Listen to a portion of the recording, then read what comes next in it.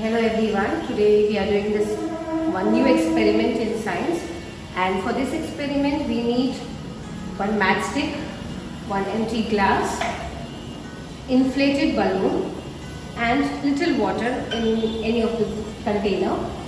Now first I take a balloon and place it over the glass. We can't see, we can see, we see nothing happens here.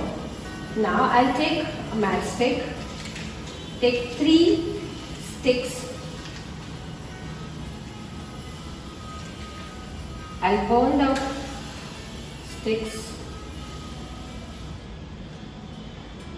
Okay I'll just take little water and make the lower part little wet.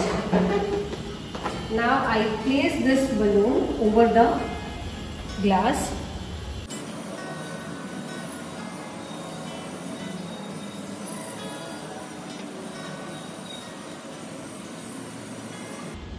Now I lift the glass.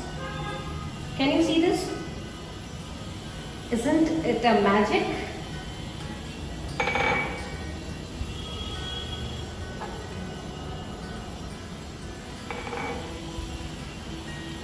Okay, let us understand the reason behind this. So because the hot air was trying to find out a way outside the glass, it caused the balloon to wig.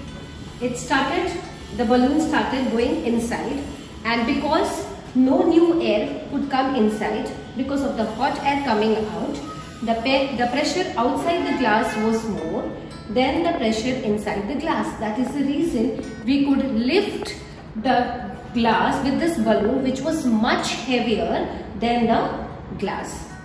I hope you like this experiment. Thank you so much